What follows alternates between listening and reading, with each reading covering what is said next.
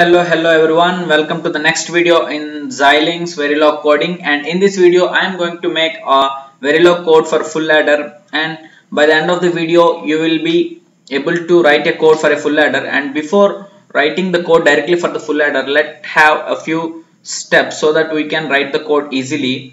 And this is the full adder circuit and here you can observe the inputs for the full adder will be a 2 bit data that is A and B and a carry in which will control uh, the condition of these two and the output of the full adder will be sum and carry out. So you can uh, let let us get back to this in a while. So let me explain about the truth table of full adder and you can see that for two bits of input data there will be four possible cases of um, table that is 0 0 is one part 0 0 is one possible case. And uh, this you can notice that uh, 0 0 is one possible case and 0 1 is other possible case. 1 0 is one and 1 1 is other case. And for each case of input there are two cases for carry in that is 0 and 1 so in this way you can fill the input sides of the truth table.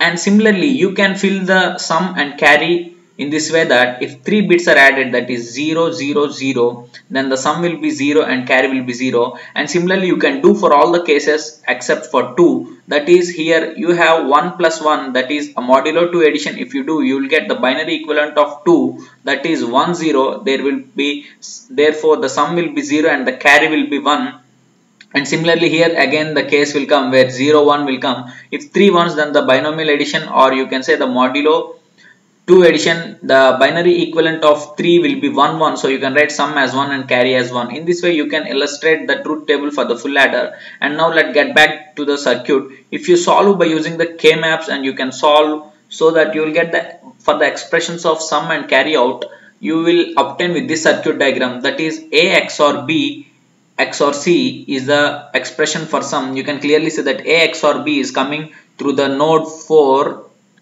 through the node 4 and it is going to the other XOR gate and here finally we are getting the output carry. So I can write simply A XOR B XOR C as sum and here you can see for carry you, we have a two AND gates and an OR gate used. So the so we can call these intermediate wires we can call these interconnects as wires. So I use the new I will use the new keyword that is wire in the code so that to represent these two lines which are connecting to the OR gate. So let's get started with the basic idea of the circuit. You can code on yourself.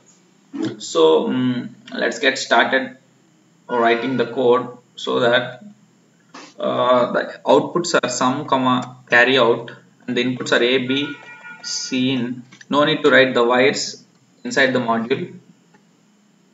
So as usual output sum comma carry out. Input a comma b comma in. I will represent white here but I will write meanwhile why will use that?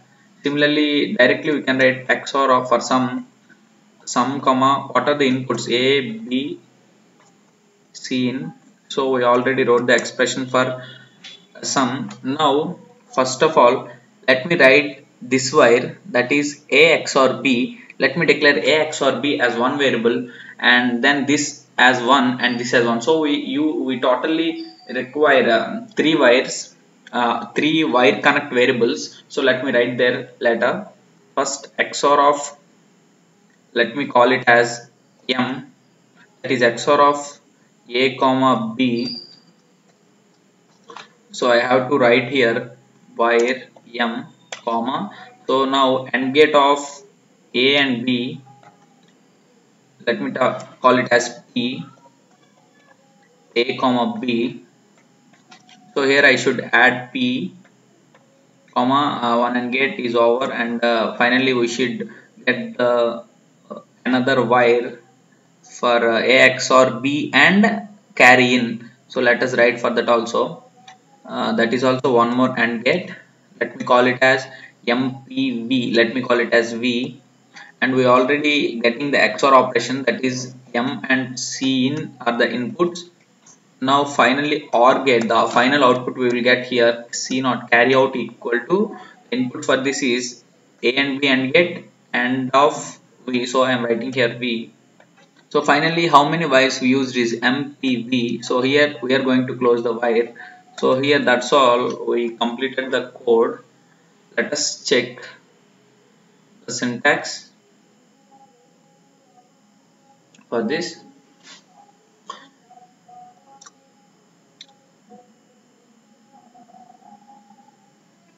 And the syntax was correct so let us uh, write the code for the test bench also. Verilog test fixture that is uh, full underscore test.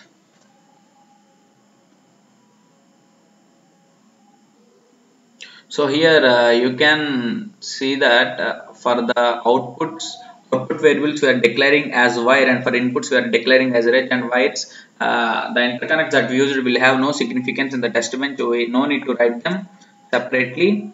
So initially I'm giving them all zeros.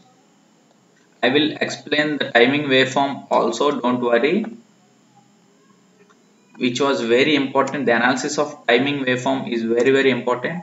Now I am writing always has to for every two time steps my a value should get incremented by one bit.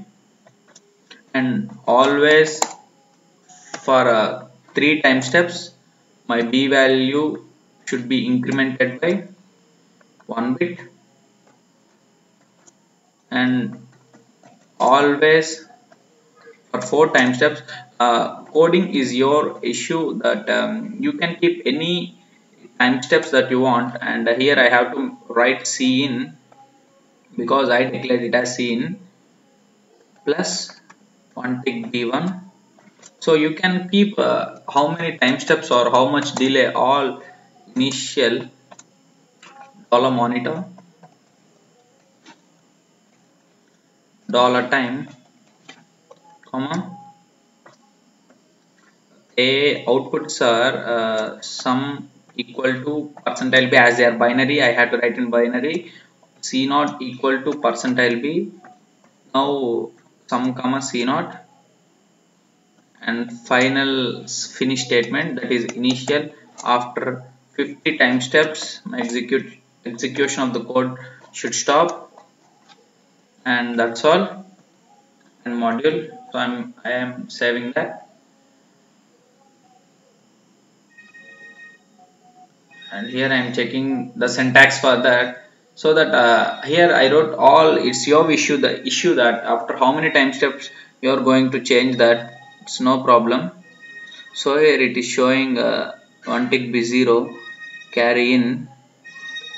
So here uh, initialization of inputs always at the rate of 2 binary number found uh, one tick b1 what is the error that it is showing?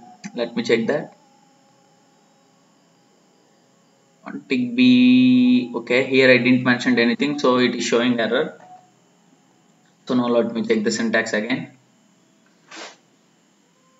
It was correct? So let us uh, see the simulation behavioral model also. So here i mentioned two three four time shifts but it's your issue and the bits that are to be added also you can put them randomly or uh, simultaneously. That's not a problem that are not issue. You can try or play with the code uh, by giving different set of inputs.